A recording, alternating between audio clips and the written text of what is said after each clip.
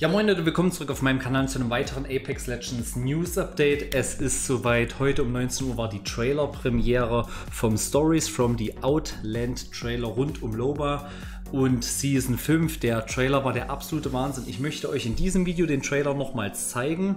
Ein, zwei, drei Bilder zum Trailer möchte ich nochmal kurz pausieren. Ich möchte jetzt keine komplette Analyse dranhängen, aber es gibt ein, zwei Sachen, die ihr vielleicht übersehen habt, die sehr, sehr interessant sind. Dann möchte ich über etwas reden, was in Season 5 kommt und soll, und zwar sollen Quests ab Season 5 kommen. Zeige ich euch gleich noch ein Bild, habe ich auf Instagram entdeckt. Dann zeige ich euch die Ranked-Belohnung für Season 4, quasi den neuen Schrei für Predator und Master und die Anhänger für die Master-Ränge. Die sehen sehr, sehr cool aus. Dann möchte ich euch den Season 5 Ingame Teaser Phase 4 rund um Loma zeigen. Die erscheint nämlich ganz, ganz kurz und das klappt auch nicht immer so, wie viele wahrscheinlich vermuten. Viele haben sie schon entdeckt. Das kann man aber nicht immer provozieren. Ich habe jetzt zig Anläufe gebraucht, um sie selber zu entdecken. Es ist nicht auf der Map, ganz, ganz wichtig. Und dann sage ich euch noch, wann die nächsten Phasen ähm, der Ingame Teaser kommen. Phase 5 und Phase 6. Jetzt zeige ich euch erstmal den Trailer für alle, die den noch nicht gesehen haben. Er ist wirklich der absolute Wahnsinn. Und danach melde ich mich gleich wieder. Viel Spaß.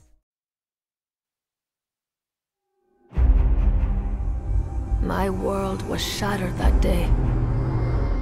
And my path was now a fog of unknowns. The system tried to erase the tragedy. But some wounds are too deep to ever truly heal. I've always felt it in my blood. I am a thief. And a good one at that. It was the only way I felt true to myself. And those same feelings grew into opportunity.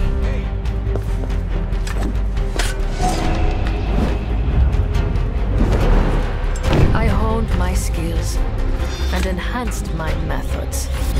With success came wealth, power, and friendship. I was the best, and everyone knew it. But something was always missing. Until now. There we are. I'm off to bed. Wait, I, uh, I found him. What? What are you talking about? I found him.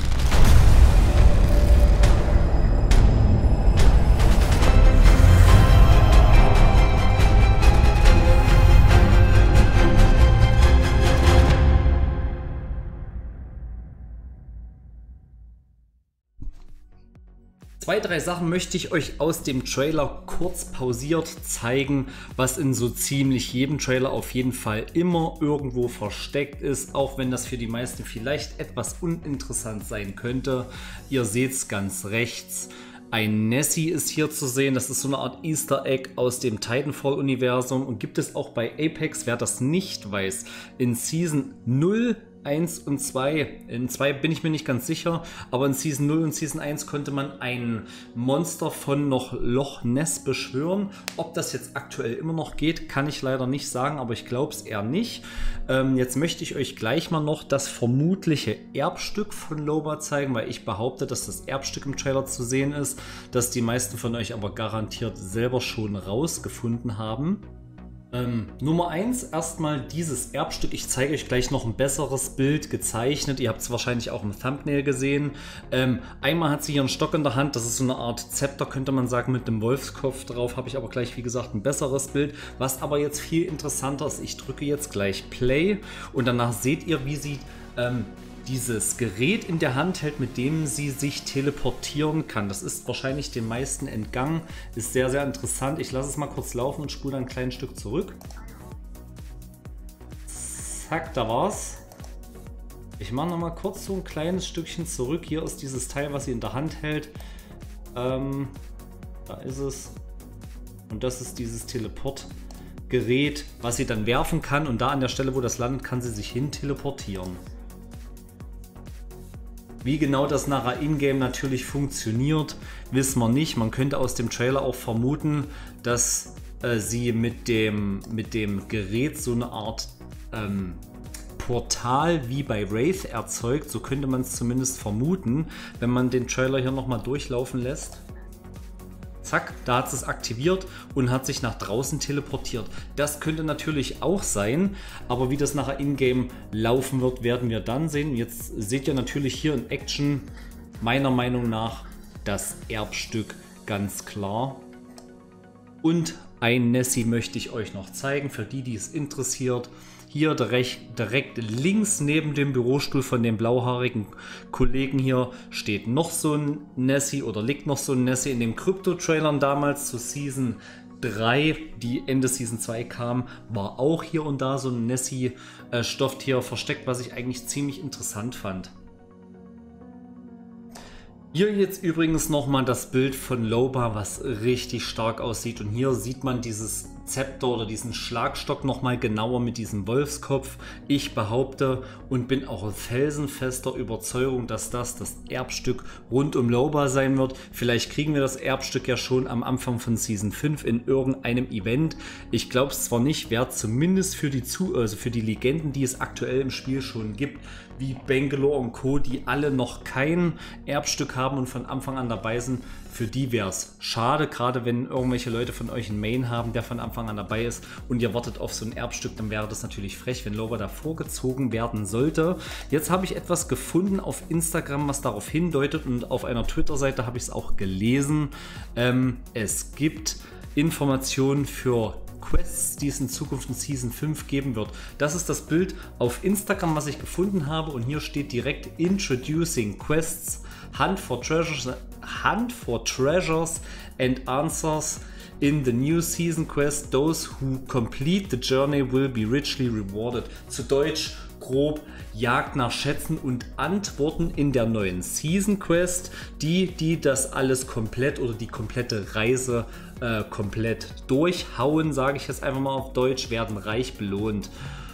Was heißt reich belohnt? Wir werden es sehen. Vor allen Dingen ist ja interessant, ähm, die, die die Antworten finden, was auch immer das für Antworten sein sollen. Wir warten ja immer noch, beziehungsweise ich zumindest warte immer noch auf bestimmte Antworten, was die Reise rund um Krypto ähm, so ein bisschen betrifft. Ihr erinnert euch vielleicht, wo wir in Season 3 dann auf dem World's Edge gelandet sind. Das haben wir alles nur Krypto zu verdanken. Und warum haben wir denn das zu verdanken? Weil er die Apex-Spiele gecrashed hat, vom Kings Canyon äh, ablenken wollte, damit da die Apex-Spiele nicht mehr stattfinden. Und es hieß, er sucht irgendwelche Beweise. Ich warte noch immer auf die Beweise. Vielleicht kriegen wir in Season 5 endlich mal Quest Antworten oder nach äh, Antworten, die man suchen muss. Das wäre auf jeden Fall endlich mal eine Sache, um ein bisschen mehr Storyline äh, in dieses gesamte Spielkonstrukt zu bringen. Jetzt zeige ich euch die äh, Ranked Rewards, die sehr cool aussehen ist jetzt nicht groß was Neues.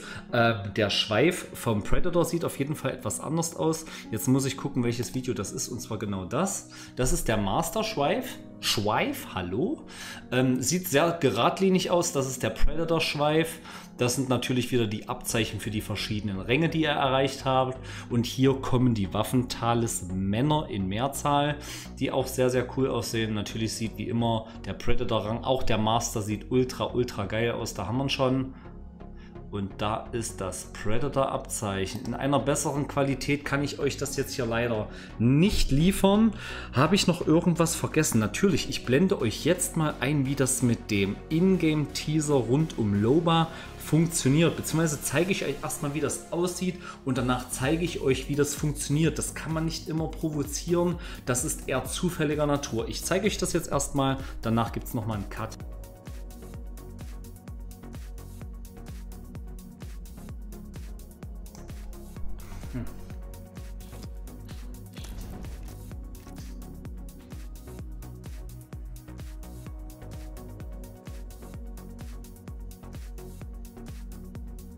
Das ist ja mega geil. Folgende drei Möglichkeiten gibt es zumindest, die, die ich jetzt weiß. Eine davon hat bei mir nur funktioniert, um das zu provozieren. Denn ich war noch auf Arbeit, da war die Trailer-Premiere und dann kam dann auch Loba schon. Da habe ich auf Instagram sehr viele äh, Informationen, Bilder, Videos zugeschickt bekommen von fleißigen Abonnenten, die mich mit Informationen füttern wollten, was ich sehr, sehr cool finde. Danke dafür, falls einige von euch zuschauen und da dabei waren. Ja, also ich habe fünf Anläufe gebraucht, ohne Mist. Ähm, ich habe es mit Neustarten versucht, hat bei mir nicht funktioniert. Ein Abonnent hat mir ein Video geschickt. Er hat seine Playstation gestartet oder PC, Xbox, ich weiß nicht auf welcher Plattform es war. Er hat es gestartet, ist einfach ins Hauptmenü und da ist sie schon erschienen. Das hat bei mir nach fünfmal Neustarten nicht funktioniert.